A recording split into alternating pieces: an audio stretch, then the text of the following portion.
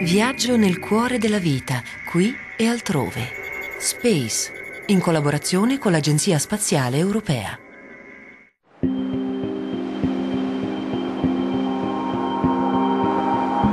Nebulose, vibrazioni, elettromagnetismo si traducono anche in onde che si osservano meglio allontanandosi dalla Terra. L'industria europea sta ultimando la costruzione di due telescopi spaziali che serviranno a frugare nello spettro invisibile all'occhio umano. L'Herschel Space Observatory sarà il più grande telescopio spaziale, il suo specchio di circa 3 metri e mezzo, almeno una volta e mezzo più grande di Hubble avrà una visione più chiara. L'Agenzia Spaziale Europea ESA ha sviluppato strumenti avanzati per cogliere la luce agli infrarossi delle stelle.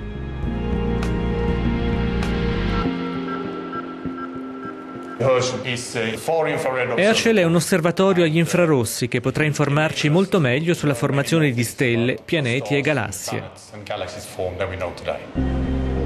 Un altro telescopio, Planck, fungerà da rincalzo ad Herschel con una missione diversa. Punterà allo spettro di luce invisibile dei raggi infrarossi, quelli più antichi. Dovrà quindi fotografare l'universo iniziale di 14 miliardi di anni fa.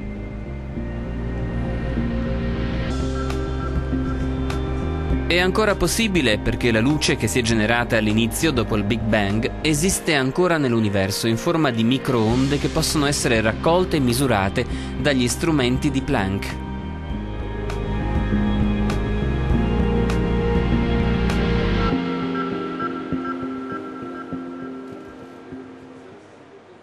Its objective is to make uh... Il suo scopo è scannerizzare la volta celeste da mappare sulla base delle microonde cosmiche di sottofondo. Questa luce ci giunge dagli attimi iniziali dell'universo, una sorgente che ha molte informazioni sulla struttura del cosmo. Planck è il primo osservatorio spaziale che scruta le microonde di sottofondo, è il più sofisticato e ambizioso della categoria. Herschel e Planck saranno messi in orbita dal vettore Ariane 5 dalla base di Kourou nella Guayana francese. Il loro lancio è previsto nel 2009. Si tratterà di una messa in orbita abbinata, due telescopi insieme. Questo per far scendere i costi.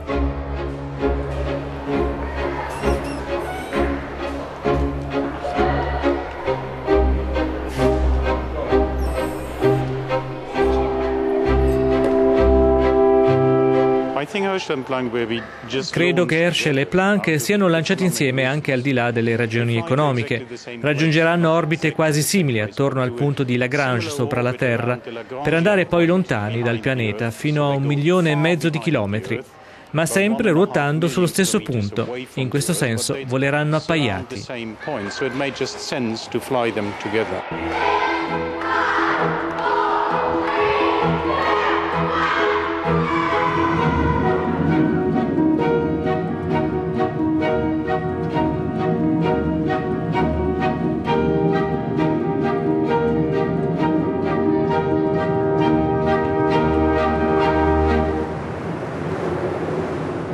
Lanciatore Ariane 5 li porterà fino al punto in cui continueranno da soli dopo due ore e mezza di volo.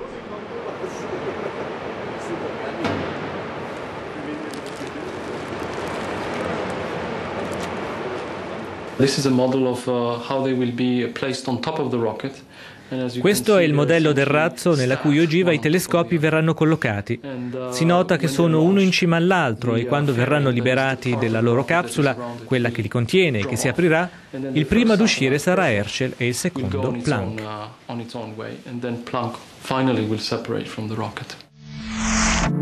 La loro destinazione è L2, il secondo punto di Lagrange, che è all'opposto del Sole, 4-5 volte più lontano da noi della Luna. È un'ottima collocazione per osservare il cielo, al riparo dalla luce del sole e lontani anche dalla forza di gravità della Terra. Il punto di Lagrange è uno di quelli dello spazio in cui le forze di gravitazione e quelle centrifughe si compensano. Herschel, osservatorio spaziale agli infrarossi con un grande specchio, seguirà le istruzioni impartite da Terra e punterà precisamente ai corpi celesti dentro e fuori la nostra galassia distanti anche 10.000 milioni di anni luce. Lo specchio di Herschel gli consente di leggere le frequenze degli infrarossi remoti e quindi sarà in grado di vedere attraverso le nubi di gas e di polvere che circondano pianeti e stelle nascenti, un lavoro che fino ad oggi telescopi spaziali non hanno potuto fare.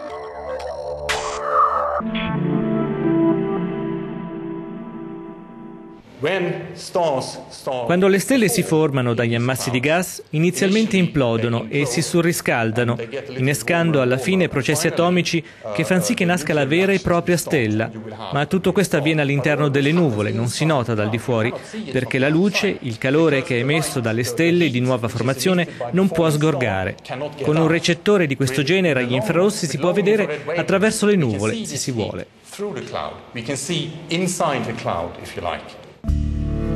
La luce visibile è raccolta da telescopi come Hubble. Gli infrarossi li legge Herschel.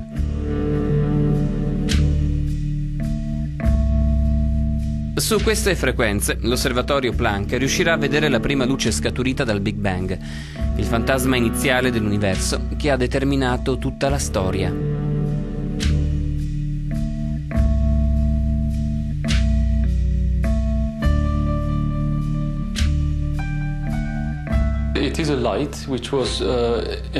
Si tratta di una luce irradiata dal plasma esistito 300.000 anni dopo la nascita dell'universo, dopo quello che si chiama Big Bang e che ci giunge direttamente, uh, senza ostacoli.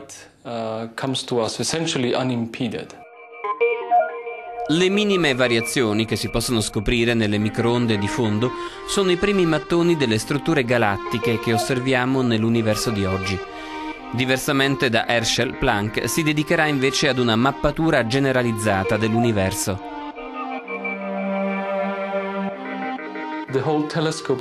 L'intero telescopio ruota lentamente sui suoi assi, così, e ruota in sostanza mappando tutto attorno il cielo e raccogliendo la luce da un cerchio che descrive nel cosmo.